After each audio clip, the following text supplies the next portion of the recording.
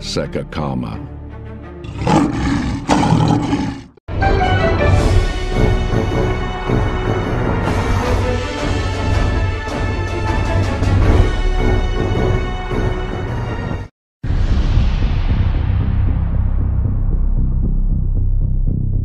Japão pode despachar um porta-aviões para as águas turbulentas do Oriente Médio. O governo japonês está discutindo se deve despachar um dos dois navios da classe Izumo do país, como parte do contínuo compromisso naval do Japão com patrulhas antipirataria na região, de acordo com o jornal do país Japan Times.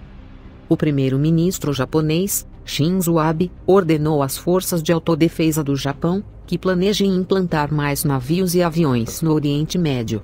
Usando um pouco de domínio legal, o governo começou a procurar uma missão que pudesse ser classificada como atividades de pesquisa, que não exigem a aprovação do gabinete do país.